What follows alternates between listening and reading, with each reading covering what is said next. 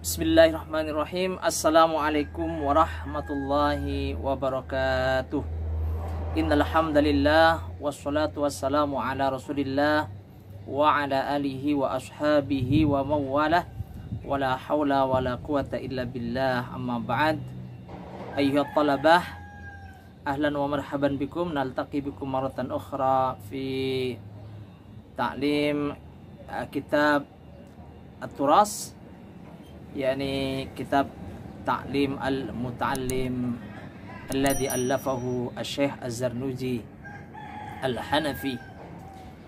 Wa nahnu al-an fi faslin fi mahiyatil ilmi wal fiqhi wa fadlihi. Kita akan mengkaji tentang esensi daripada ilmu dan fikih dan keutamaannya Bismillahirrahmanirrahim.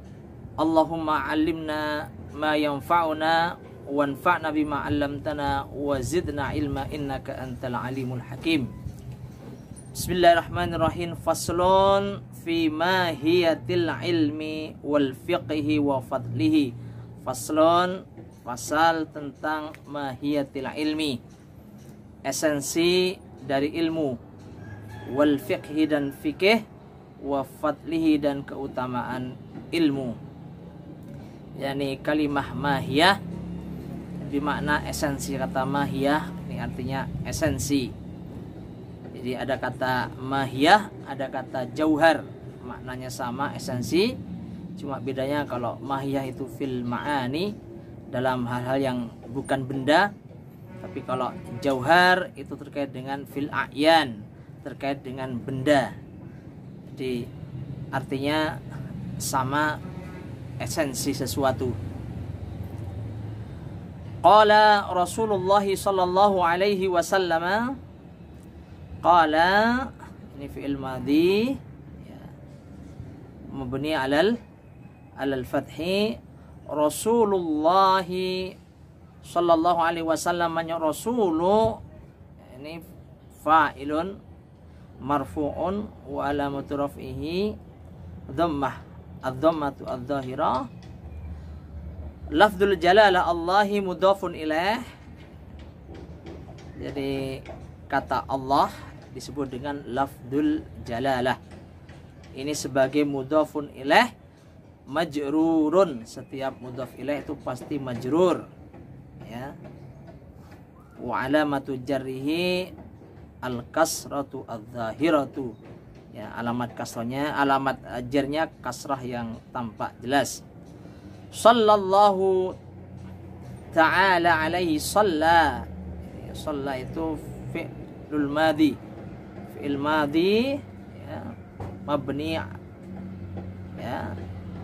Kata salla mabni alas alas sukun sallallahu sallallahu Allahu fa'ilun fa'ilnya ya. ta'ala itu hal jumlah ta'ala artinya maha tinggi Allah subhanahu wa ta'ala ya. sallallahu mudah-mudahan Allah subhanahu wa ta'ala bersolawat ya. makna Allah bersolawat mudah-mudahan Allah memberi keberkahan alaihi kepada Nabi Muhammad sallallahu alaihi wasallam wasallama mudah-mudahan Allah memberi keselamatan. Dikata sallama atapnya kepada shalla. Shalla yusalli, sallama yusal limu. Talabul ilmi faridatun ala kulli muslimin wa muslimatin talabul ilmi mencari ilmu atau menuntut ilmu faridatun adalah fardu wajib. Ala kulli muslimin atas setiap orang muslim laki-laki wa muslimatin dan orang muslim perempuan. Yakni talabul ilmi al mauqi min al i'rab kedudukan i'rabnya talabul ilmi masdar itu Talabu itu masdar min talaba yatlubu talaban. Ya. Talabul ilmi mubtada kata talabu marfu ala annahu mubtada karena sebagai mubtada ya, al ilmi mudhafun ilaih majrur faridatun khabar faridatun khabar min mubtada ta talabu maka likulli khabarin marfuun. Setiap khabar itu mesti bacaannya ra rafa maka talabul ilmi faridatun ala kulli muslimin wa muslimatin. Bahwa menuntut ilmu adalah wajib bagi setiap orang muslim laki-laki maupun muslim perempuan. Ini adalah dasar ya, dalil bahwa orang belajar orang mencari ilmu adalah wajib setiap muslim diwajibkan untuk selalu talabul talabul ilmi. I'lam bi annahu la yuftaradu ala kulli muslimin wa muslimatin talabu kulli ilmin. I'lam. Fi'il amr perintah i'lam. Ketahuilah. Bi annahu bahwasanya la yuftaradu tidak diwajibkan. Kalimah yuftaradu bimakna yufradu bimakna yufradu la yuftaradu tidak diwajibkan. Ala kulli muslimin atas setiap muslim wa muslimatin dan muslim perempuan talabu kullu kullu eh, talabu kulli ilmin. Untuk menuntut atau mencari semua ilmu. Sufuna kalimat yuftaradu kata yuftaradu itu fi'il fi'lul mudhari mabni majhul. Mabni majhul itu uh, posi uh, bentuk negatif. Yuftaradu di tidak diwajibkan. Dan setiap fi'il yang majhul maka tidak ada fa'ilnya. Tapi yang ada naibul fa'il pengganti fa'il dari fi'il tersebut. Oleh karena itu di sini kata talabu itu merupakan naibul fa'il. Naibul fa'il itu i'rabnya juga rafa dan la yuftaradu ala kulli muslimin wa muslimatin talabu kulli ilmin tidak diwajibkan bagi setiap muslim dan muslimah untuk mencari semua semua ilmu. Bal tetapi yuftaradu alaihi diwajibkan atasnya talabu ilmil hali untuk mencari ilmu hal. Yani sawa yani ma'a kalimah talab fil uh, fi maqablah sama kata tolabu di sini sama ini naibul fa'il. Karena fi'ilnya fi'il majhul. Bal yuftaradu kata bal ini atab bal. Tetapi yuftaradu alaihi diwajibkan atasnya mencari ilmu hal. Mencari ilmu. Apa itu ilmu hal? Yakni ma yahtaju ilahi al-abdu fi ahwalihi yang disebut dengan ilmu hal adalah ilmu yang dibutuhkan oleh seorang hamba, oleh manusia dalam keadaannya.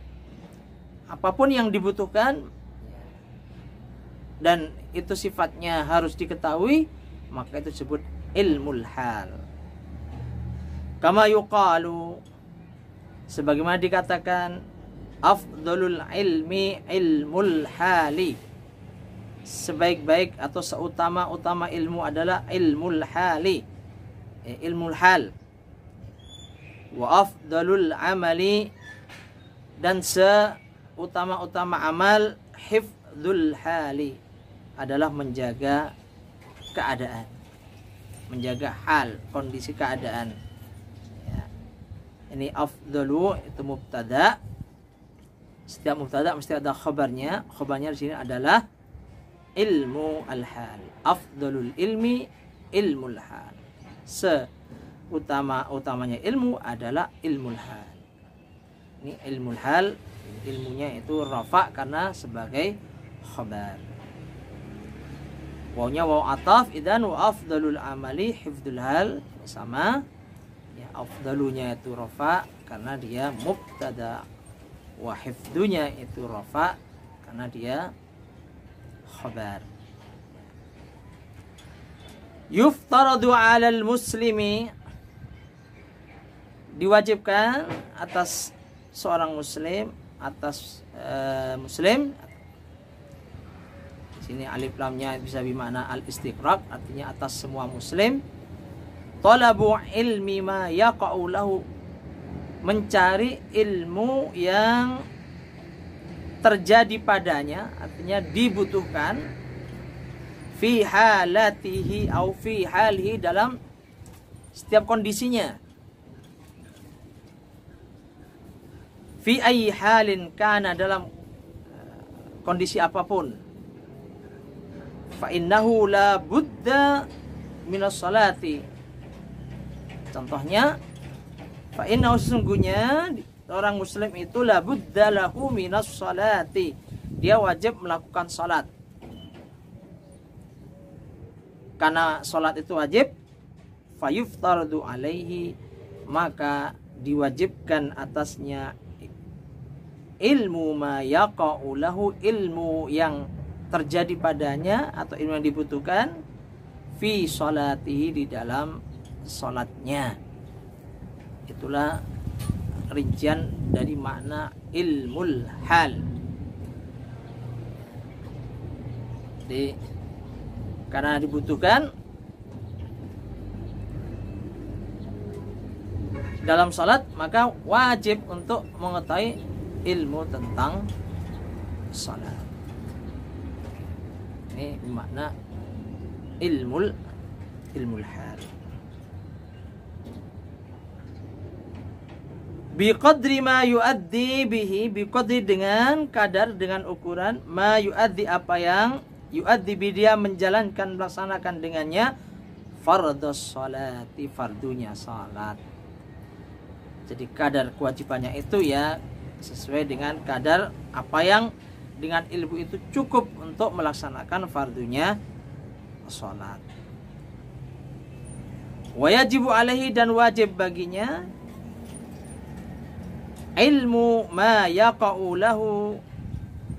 Ilmu yang terjadi padanya il ya diterjemahkan mudahnya. Ilmu maya kaulahu ilmu yang dibutuhkan olehnya biqadri dengan kadar ma yuaddi bihi apa yang yuaddi dia melaksanakan bihi dengannya dengan ilmu itu al wajibah kewajiban. Artinya semua kewajiban yang perlu diilmui oleh seorang muslim maka ilmunya wajib dipelajari. Itulah makna ilmul hal. Ya ini mulahadah eh, nahwiyah sebentar sedikit ada kata yajibu. Jadi kata yajibu itu fi'il. Ya, setiap fi'il pasti ada fa'il. Di mana fa'ilnya maka fa'ilnya ya, yajibu alaihi ilmu. Kata ilmu itu fa'ilnya. Wajib baginya ilmu mengilmui ma ya kaulahu apa yang dia butuhkan. Biqadri ma yuaddi. Ya dengan kadar yang bisa melaksanakan dengannya al wajibah jadi kalau kita wajib sholat maka wajib mempelajari ilmu sholat. Ya. lianna ma yatawassalu bihi karena apa yang mengantarkan ila iqamatil fardi kepada ya, berdirinya atau uh, penegakan al fardi satu yang fardu yakunu fardan menjadi fardu juga. Dalam kaidah lain ma yatawassal wa ma yatawassalu bi ilal wajibi fahuwa wajibun. Ini kaidah kaidah usulia kaidah dalam ilmu usul fik ma yatawassalu bihi ilal wajibi fahuwa wajibun apa yang mengantarkan kepada kewajiban maka itu menjadi wajib pula ya. karena ilmu mempelajari ilmu tentang sholat itu mengantarkan kita kepada pelaksanaan sholat yang benar maka menuntut ilmu tentang sholat adalah wajib. Ya. wa ma yatawassalu bihi ila iqamatil wajibi apa yang mengantarkan kepada dilaksanakannya kewajiban yakunu wajiban. Maka dia menjadi wajib. Wa kadzalika demikian pula fisomi tentang puasa wa zakati dalam masalah zakat. Ingkana lahu malun. Ingkana jika ada lahu baginya malun harta. Jadi kalau orang punya harta dia wajib zakat maka yajibu alaihi talabu ilmi az-zakat. Maka wajib baginya untuk menuntut atau mencari mengetahui ilmu tentang tentang zakat. Wal haji demikian pula juga haji. In wajaba alaihi jika wajib haji itu alaihi baginya. Sehingga di dalam Islam untuk menentukan ilmu fardu ain ini yang dibahas tentang ilmu fardu ain ya, ukurannya adalah kalau ilmu itu dibutuhkan oleh setiap individu dan tanpa ilmu itu tidak bisa melaksanakan kewajiban dalam beragama maka ilmu itu wajib dituntut artinya fardu ain untuk menuntut ilmu tersebut sehingga dalam Islam tidak ada dikotomi ilmu umum dan ilmu agama ya. meskipun seorang dokter seorang ahli fisika seorang kimiawan dia tetap wajib untuk mempelajari ilmu tentang sholat karena dia wajib sholat ya. seorang politikus ya, atau politisi dia tetap wajib mempelajari ilmu tentang sholat tentang puasa. Meskipun dia bukan seorang ustadz bukan seorang ulama ya tentu kadar wajibnya adalah ukuran dia bisa melaksanakan ibadah tersebut. Adapun detail-detailnya itu nah itu merupakan fardu kifayah. Ya. Sedangkan yang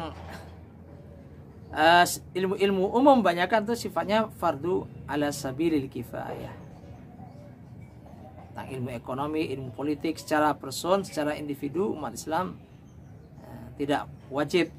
Tapi ketika ilmu-ilmu itu dibutuhkan secara kolektif oleh masyarakat oleh umat Islam sehingga di tengah umat Islam itu harus ada politisi harus yang alat ada ada yang ahli ekonomi harus ada yang menjadi dokter maka ilmu-ilmu itu fardu kifayah fardun ala sabilil kifayah fardu kifayah untuk dipelajari oleh umat umat Islam sehingga harus ada sebagian dari umat ini yang mempelajari itu. Kalau tidak ada atau ada tapi tidak mencukupi maka ya kewajiban itu dibebankan kepada seluruh umat Islam. Ini untuk uh, membedakan mana yang ilmu fardu ain dan ilmu fardu fardu kifayah. Wa kadzalika demikian pula fil buyu'in mengenai al buyu' jual beli ingkana yattajiru jika dia berdagang. Artinya begini. Orang berdagang dia belajar ilmunya dagang tidak wajib. Jadi belajar ilmunya dagang dia tidak wajib. Karena berdagang itu bukan kewajiban. Tetapi orang berdagang kalau dia berdagang belajar ilmu tentang halal haram dalam hal dagang itu wajib. Jadi justru yang wajib adalah belajar ilmu halal haramnya. Supaya dia bisa terhindar dari yang haram. Supaya dia bisa melaksanakan kewajiban seorang berdagang. Jadi misalnya anak berdagang, saya nggak ngerti ilmunya dagang, kemudian saya menyerahkan eh, perdagangan saya eh, urusannya kepada orang lain mafi muskilah lastu asiman saya tidak berdosa Tapi kalau saya berdagang nggak tahu kewajiban seorang berdagang dalam Islam, nah ini berdosa. Nggak tahu kalau sudah memenuhi nisab zakat harus berzakat, ini saya ber, berdosa. Oleh itu saya wajib untuk mempelajari ilmu terkait dengan ilmu hal dalam hal dagang. Ya, ilmu yang harus saya ketahui dalam hal dagang yaitu tentang kewajiban eh, kepada Allah, kewajiban agama bagi orang yang berdagang. Uh, lidzalika qila li Muhammad bin Al-Hasani rahimahullahu ya dikatakan kepada Muhammad bin Hasan rahimahullahu taala ala tusannifu kitaban fil zuhdi. Jadi seorang ulama namanya Muhammad bin Hasan rahimahullah ditanya ala tusannifu? Mengapa? Ya, atau uh, mbok yao kita ya. Mengapa? Antum ya, anda tidak mengarang kitab fil buyui uh, fil fil tentang uh, zuhud. Kenapa tidak uh, mengarang kitab khusus tentang zuhud? Qala sannaftu kitaban fil buyu'i. Dia menjawab saya mengarang kitab tentang jual beli. Ya. Mengapa mengarang kitab jual jual beli? Yakni az-zahidu man yataharrazu anis syubhati wal makruhati fit tijarati karena orang yang zahid, orang yang zuhud adalah orang yang menghindarkan diri dari perkara syubhat dan makruh dalam berdagang. Maksudnya daripada hanya mengarang kitab tentang zuhud, beliau mengarang kitab yang lebih praktis tentang tijarah, ya tentang ya perdagangan jual beli, tapi isinya menjelaskan juga tentang apa yang harus diperhatikan, diwaspadai, ditinggalkan ya, bagi orang-orang yang berdagang. Yaitu perkara yang syubhat dan perkara yang makruh. Dan itu juga bagian ya atau bahkan ya uh, laku yang praktis. Itu adalah implementasi daripada sikap zuhud di dalam di dalam Islam. أقول قولي هذا. إلى اللقاء في تعليمنا آه، في اللقاء القادم وفي الحلقة القادمة. السلام عليكم ورحمة الله وبركاته.